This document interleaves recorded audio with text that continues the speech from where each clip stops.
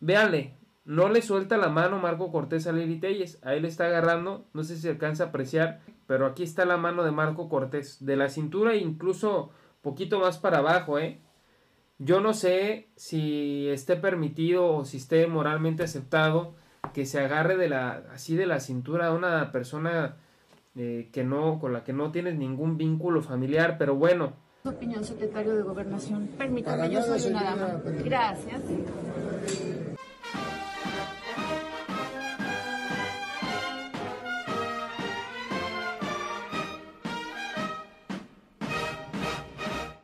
Tal amigas amigos? Gracias por sus likes, por sus comentarios y por compartir nuestros videos. Otra vez tuvieron que sacar empujones a Lili Telles. Ya mejor no la quiere llevar a ningún lado Marco Cortés.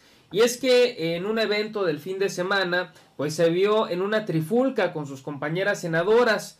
Llegó Lili Telles muy jijiji, muy acá, dándoselas de la próxima candidata a la presidencia. Y llegó el momento en que le preguntaron, oye Lili Telles, ¿y qué pasa con la delincuencia inmobiliaria del Partido de Acción Nacional? ¿Qué pasó con este político de apellido alemán? Y pues Lili Telles nomás se quedó con la, con la sonrisa. Vamos a ver el video porque se la tuvieron que llevar prácticamente a empujones. La agarra Marco Cortés de una mano y le dice, vente para acá y cállate la boca. Casi, casi le dice, vamos a ver el lenguaje corporal la verdad es que, eh, pues muy mal Lili Telles. Y por cierto, tenemos también el testimonio de un compañero panista de la senadora que pues dice que la llama pues prácticamente la bajeza. Así que pues vamos a ver este video de la bajeza, cómo se la lleva Marco Cortés. Ahí fíjense, para empezar, el abrazo de Marco Cortés. Ella se siente ahí como que la invade su privacidad porque le dice, a ver, como, como de, ¿por qué me estás llevando? ¿Por qué me estás abrazando así? Pero pues Marco Cortés dice, mejor la abrazo, mejor me la llevo a la fuerza que dejarla hablando. Vamos a escuchar, vamos a ver el video y ahorita lo seguimos analizando. Estas son las ayudas que le mandan a la candidata de la corrupción. ¿Qué opinas de Cristian Monrerich, presidente? Corrupto. Mucha corrupción. No opinas nada. No opinas nada de Cristian Monrerich. ¿Qué opinan de Cristian Bonrerich? Y no dicen nada.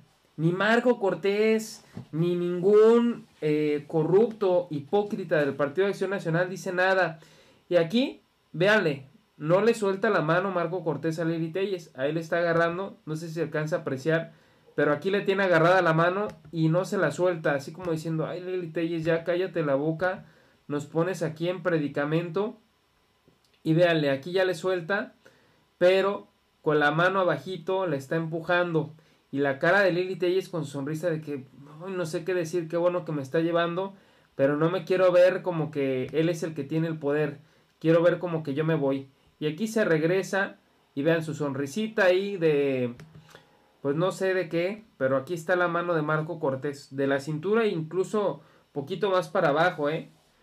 Yo no sé si esté permitido o si esté moralmente aceptado que se agarre de la así de la cintura a una persona eh, que no con la que no tienes ningún vínculo familiar, pero bueno, esto se hace de manera pública y lo hizo yo creo pues para tratar de evitar que la señora para que la senadora siguiera hablando. Ahí se la lleva ya totalmente y como que hubo después un agradecimiento de gracias por sacarme de ese predicamento pues el caso de Christian Bonredix sigue ahí eh, pendiente de resolverse y serán las autoridades jurisdiccionales las que pues las que finquen responsabilidades. Por lo tanto pues hay ahí en el Partido de Acción Nacional hay una ahora sí que va a ser un efecto dominó. Va a caer Christian Bonredix y van a seguir impulsando van a seguir cayendo las fichas. Yo espero que pronto se lleve pues acabo este juicio, que sea pronto, que sea sumario, que se presenten todas las pruebas y que a final de cuentas pues se sepa la verdad porque porque somos son varios los agraviados de y sobre todo la, la, causa porque se robaron todo el dinero del sismo que es, es una información muy interesante vamos a ver a lo mejor los próximos días voy a hacer un video de esto pero ya hay hizo un video muy bueno el, el Chapucero Today. Eh, y se lo recomiendo, ¿no? Yo creo que de ese tema no hay más que explicar. Él ya lo hizo de manera puntual, de manera correcta. Así que los invito a ver su video. 25 minutos se aventó el buen Mau. Una persona que admiro mucho. eh, su trabajo en particular, no lo conozco en persona. Pero su trabajo, vaya que lo admiro y le deseo lo mejor a su canal. Ahora, vamos a escuchar en otro tema lo que dijo el gobernador de Yucatán. Él es panista. Reconoce, en primer lugar, los logros del gobierno federal en el avance para el sureste de México. Reconoce la alianza que hay entre el presidente López Obrador y el pueblo.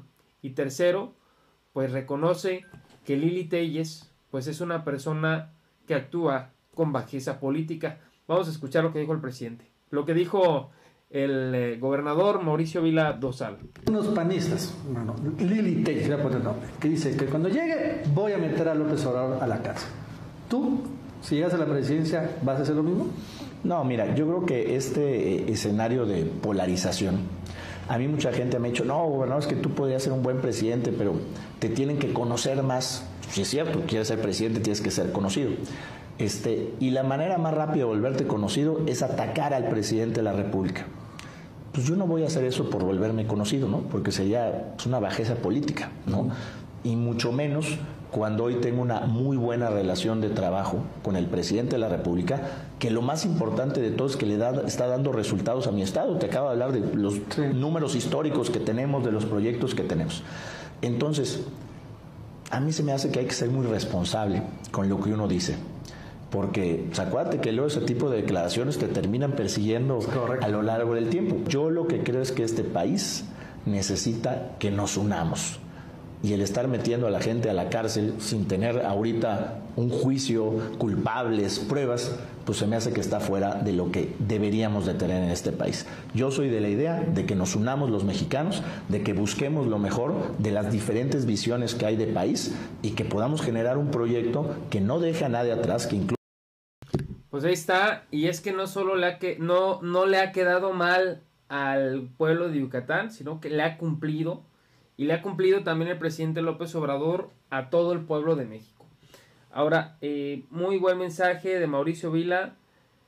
La verdad es que creo que de la, de la oposición, creo que es de las mejores cartas, y podría decir de las mejores cartas, de las únicas cartas que tiene la, la oposición, eh, presentable, no voy a decir que no sea un corruptazo, pero es, es una persona presentable, no, no meto las manos por él, pero el caso Mauricio Vila, eh, Javier Corral, pues son, son políticos que desde mi punto de vista deberían tener más proyección en nuestro país, pero es desafortunado que Marco Cortés siga al frente del Partido de Acción Nacional y sea la figura que los está bloqueando.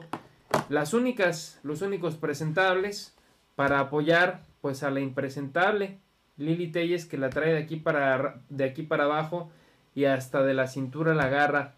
Pero bueno, eh, y aquí está eh, Lili Telles también increpando al secretario de seguridad, al secretario de gobernación, Adán Augusto López. Vamos a escuchar.